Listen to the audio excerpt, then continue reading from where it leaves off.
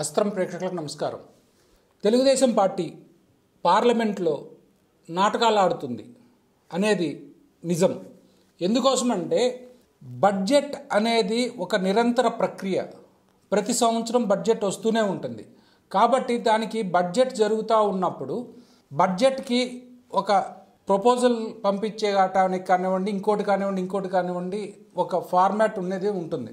October of every year start అవుతుంది ends with February or March ఇప్పుడంటే ఫిబ్రవరి ఒకటో తారీఖు మ్యాండేటరీగా ప్రవేశపెడతామని చెప్పి అరుణ్ జైట్లీ గారు మొన్న లాస్ట్ ఇయర్కి అమెండ్ చేసిన దగ్గర నుంచి ఫిబ్రవరి ఫస్ట్ సో అక్టోబర్ నుంచి రా ఈ ప్రక్రియ జరుగుతూ ఉంటుంది.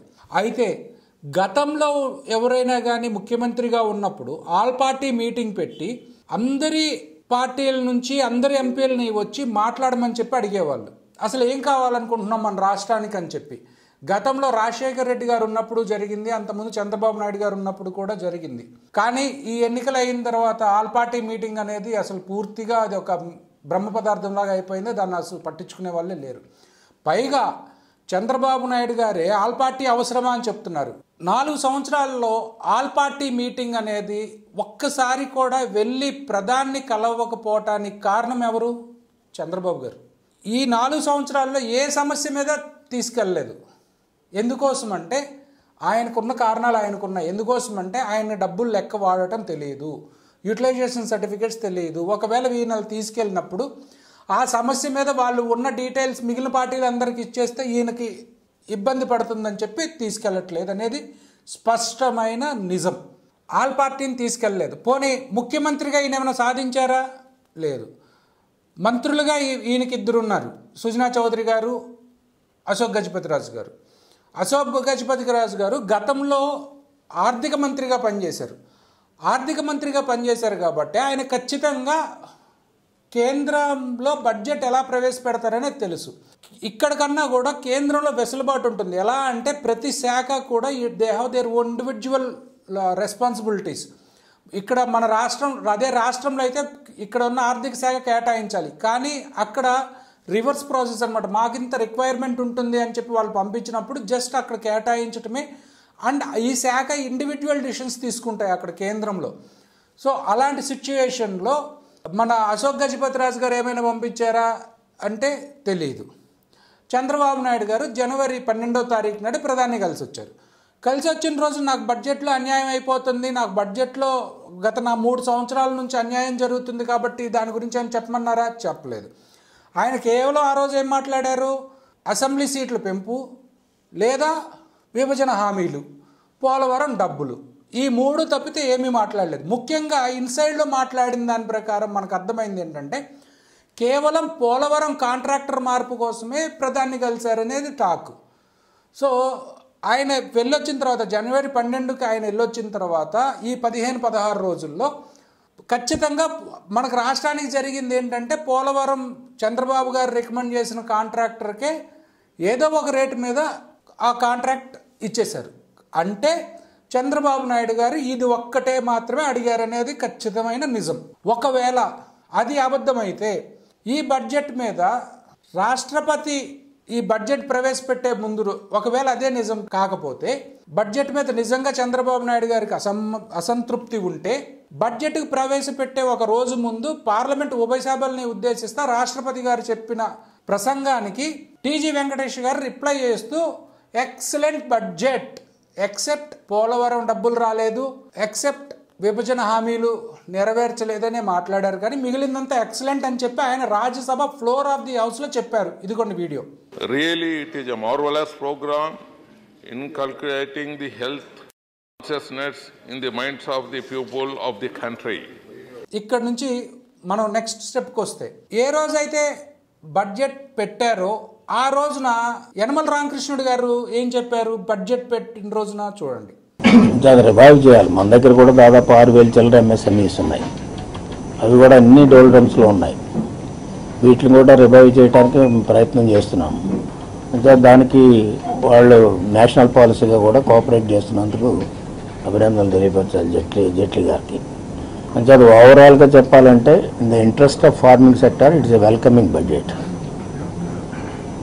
అదేవిధంగా రెండవది ఎంఎస్ఎంఈకి సంబంధించిన కూడా వెల్కమ్ బడ్జెట్ నరాలకు సంబంధించి శస్త్రచికిత్సల్లో పదిహేను సంవత్సరాల అపార అనుభవం కలిగిన వైద్య బృందం అత్యాధునిక వైద్య పరికరాలు కలిగిన హాస్పిటల్ అన్ని వర్గాల వారికి అందుబాటులోని Saveera hospital. Address NH forty four Sakshi office ఎదురుగా అనంతపూర్ ఆంధ్రప్రదేశ్. సో వీళ్ళకి ప్రధానంగా ఏంటంటే కావాల్సింది కేవలం బడ్జెట్ మీద వీళ్ళకి కావాల్సిన అసెంబ్లీలో సీట్ల పెంపుదల. ఆ నూట డెబ్బై ఐదు నుంచి రెండు వందల పాతిక చేరిస్తే చాలు ఇంకా వేరే ఏం అక్కర్లేదు.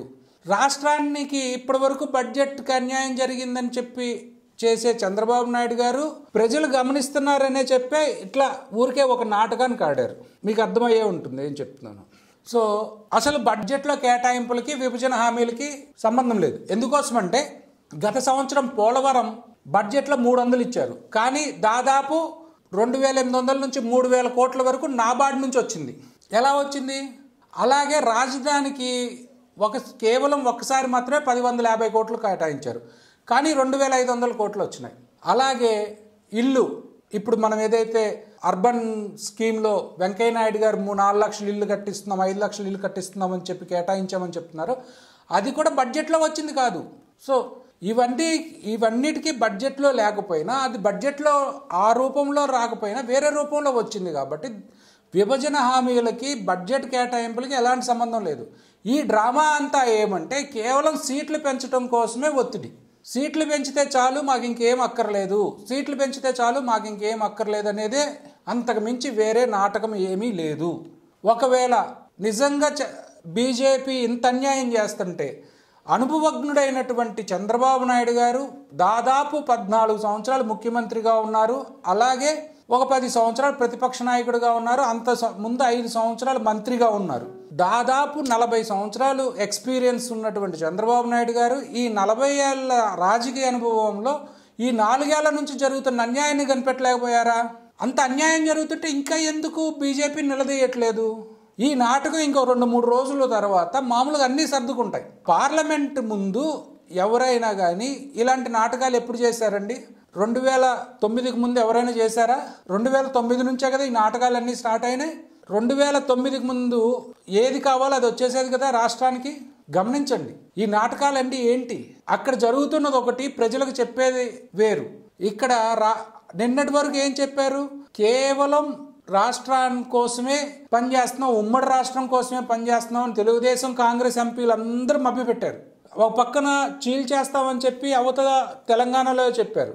అయినా కానీ లాస్ట్ రోజు వరకు మేము మీకోసం పోరాడుతున్నాం మీకోసం పోరాడుతున్నాం అని చెప్పి తెలుగుదేశం ఎంపీలు సమైక్య రాగం చేసింది నిజం కాదా? అశోక్ బాబుని కొంతమందిని కలుపుకొని సమైక్యాంధ్ర ఉద్యమం అని చెప్పి ప్రజల తప్పుదోవ పట్టించి ఆ ఇమోషన్స్ అన్ని క్యాష్ చేయించుకున్నది నిజం కాదా? పవన్ కళ్యాణ్ ఇక్కడేమో నేను పద్నాలుగు రోజులు అన్నం తినలేదు పదకొండు రోజులు అన్నం తినలేదు విభజన బిల్లు బాధ అంటాడు. అక్కడికి వెళ్ళేమో మీది న్యాయమైన కోరిక అంటాడు. ఇక్కడేమో బీజేపీ కాంగ్రెస్ అన్యాయంగా విడదీసింది అంటాడు అక్కడేమో బీజేపీ న్యాయం చేసింది అంటాడు ఇదే చంద్రబాబు నాయుడు గారు ఇక్కడేమో రెండు లెటర్లు ఇచ్చి విడగొట్టండి మీరు విడగొడతారా లేకపోతే నన్ను విడగొట్టించమంటారా నేను ప్రైవేట్ బిల్లు పెట్టమంటారా అని అసెంబ్లీలో అన్నారు. తర్వాత ఏం చేశారు? మళ్ళీ నాటకం. సో ఇలా నాటకాలు ఆడుతూ ఇలా ఉన్న విషయాన్ని ప్రజలకు డైరెక్ట్గా చెప్పకుండా మొత్తం కూడా మనకి డ్యామేజ్ చేస్తున్నారు అనేది ముమ్మాటికి నిజం. ఒకవేళ నిజంగా చిత్తశుద్ధి ఉంటే నిజంగా అన్యాయం జరుగుతుంది ఎస్ ఈయన అన్యాయానికి కారణం ఎవరు? చంద్రబాబు నాయుడు గారు.